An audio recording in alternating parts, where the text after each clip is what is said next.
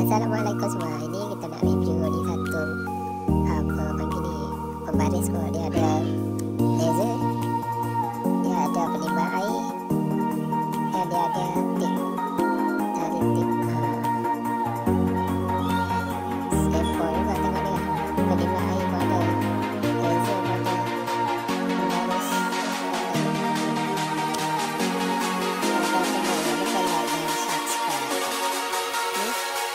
कुछ तो बंदा है तो चलिए बबले